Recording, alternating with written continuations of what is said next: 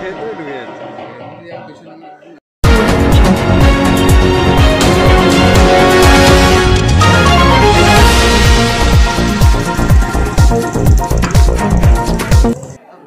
ঢুকে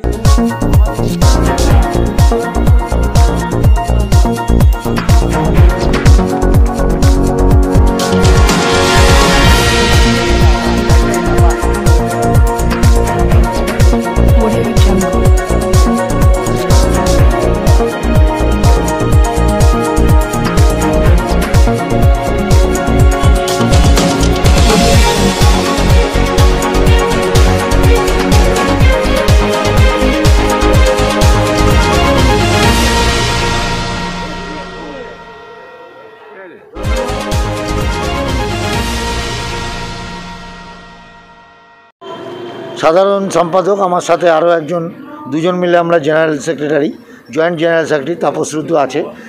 তাদের কাছে, আমরা ধন্যবাদ জানাই মাইনরিটি ট্রাস্টকে যে আমাদের এই দুর্গা পুজোকে এই দুর্গা পুজোকে একটা শ্রেষ্ঠ পুজো হিসাবে গণ্য করার জন্য আমরা অভিভূত ওনাদের কাছে যে একটা মুসলিম মাইনরিটি সেল সারা কলকাতা শহর ঘুরতে ঘুরতে ভবানীপুরের একটা জায়গায় এসে আমাদের এই পুজোটাকে ওনারা শ্রেষ্ঠ পুজো বিচার করেছে।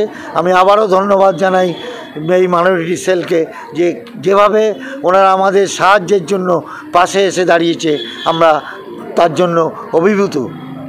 স্যার, মহামান্য আদালত যে রায়টা দিয়েছে কোর্টের রায় মানে সমস্ত মানুষের মন মেয়ে একেবারে খারাপ, মানুষ দর্শনার্থীরা অনেক অসুবিধে পড়ে গেছে। এটা নিয়ে কী বলছেন মহামান্য কোর্টের রায়কে আমরা তো অস্বীকার করতে পারি না। জানি আমাদের সমস্ত জায়গাতে সমস্ত মানুষ যারা, দর্শক যারা ঠাকুর দেখতে বেরোয়, আমরা মা কলকাতা পশ্চিমবঙ্গ ছাড়িয়ে ভারতবর্ষের যে যেখানেই থাকুক, যখন কলকাতা শহরে অথবা পশ্চিমবঙ্গে থাকে, তখন আমরা ঘুরে ঘুরে ঠাকুর দেখি। এইটা আমাদের একটা প্রথা। কিন্তু এইবার কোভিড নাইন্টিনের জন্যে, এই করোনার জন্য মহামান্য আদালত একটা আদেশ জারি করেছে।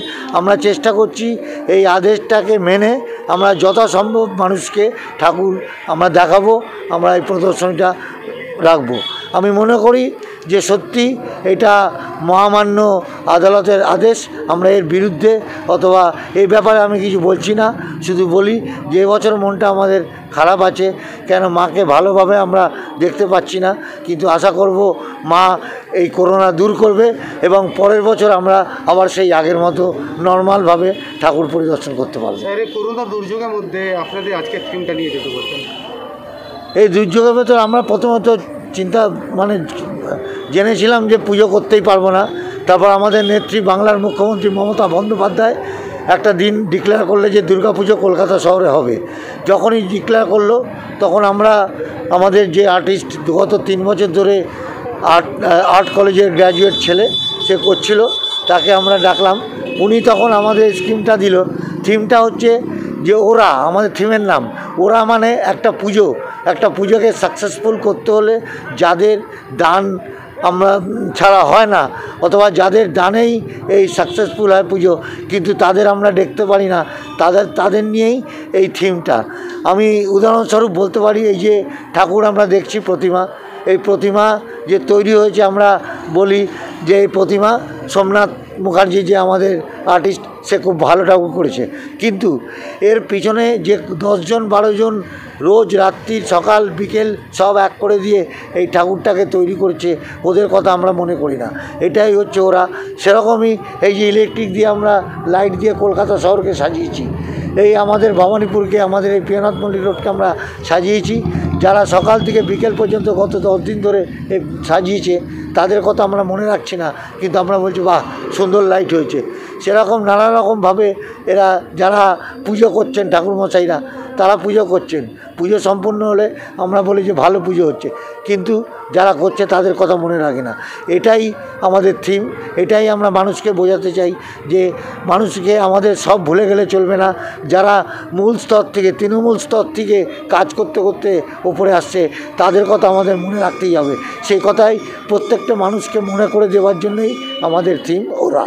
দাদা सबको खूबी हार्दिक शुभकामनाएँ, दुर्गा पूजा की सभी हार्दिक शुभकामनाएँ पूरे यहाँ के लोकल वासियों को। और ख़ास तौर पर मिस्टर एस आर बख्शीदा बाबूदा जिसको हम लोग जानते हैं, बहुत ही फ़ेमस फिगर है यहाँ पे। और ये हमारे honourable MP mister Subrata Bakshi के भाई हैं। और उनके लीडरशिप में ये प्रोग्राम ये एक बहुत अच्छा पूजा पंडाल यहाँ लगाया गया। हम लोग यहाँ पे तकरीबन दस रोज़ से पूरा कलकत्ता का हर पूजा पंडाल हम लोग सर्वे किए हैं। और करने के बाद में हम लोग देखा है कि जिस तरह का इस महामारी में ये पूजा को ऑर्गेनाइज़ किया गया है, जिस तरह से इन लोगों ने इस पर मेहनत किया गया है तो इसको नेशनल माइनॉरिटी वेलफेयर ट्रस्ट की तरफ़ से। इनको श्रेष्ठ पूजों का अवार्ड जो है यहाँ पे दिया गया है। और भी हम लोग उम्मीद करते हैं कि आने वाले सामने साल में जब ये कोरोना पूरा तरीके से चला जाएगा तो इसको पूजा को और बड़ा करके इन हम लोग करेंगे। और मेरा साथ इनके साथ में हमेशा था, है और रहेगा। और सबसे बड़ी बात यह है कि नेशनल माइनॉरिटी वेलफेयर ट्रस्ट के तरफ़ से बतौर मैं नेशनल चेयरमैन होने के नाते मैं ये कहना चाहूँगा कि हिंदू, मुस्लिम, सिख, ईसाई, फारसी, बौद्ध, जैन, दलित सबका पूजा ये वाला है। ये हमेशा खुला है, कोई भी आकर देख सकते हैं।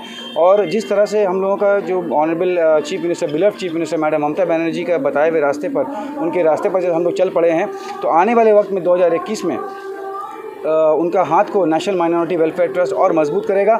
और जिस तरह से उन, वो लोग हमारे साथ में मेजॉरिटी होने के नाते हम माइनॉरिटी के साथ में थी, उसी तरह से माइनॉरिटी भी उनके साथ में हमेशा कंधा से कंधा मिलाकर खड़ा रहेगा और इन ताला रहमान, भगवान चाह और माँ दुर्गा के कृपा से हम लोग इस चीज़ को और ही मज़बूत करेंगे। जिस, जो जो शक्ति ऐसा है जो हम लोग को तोड़ना चाह रहा है बंगाल का मट्टी को, बंगाल का संस्कृति को जो ख़राब करना चाह रहा है, उसको हम लोग जो है मुँह तोड़ टक्कर देने वाले हैं।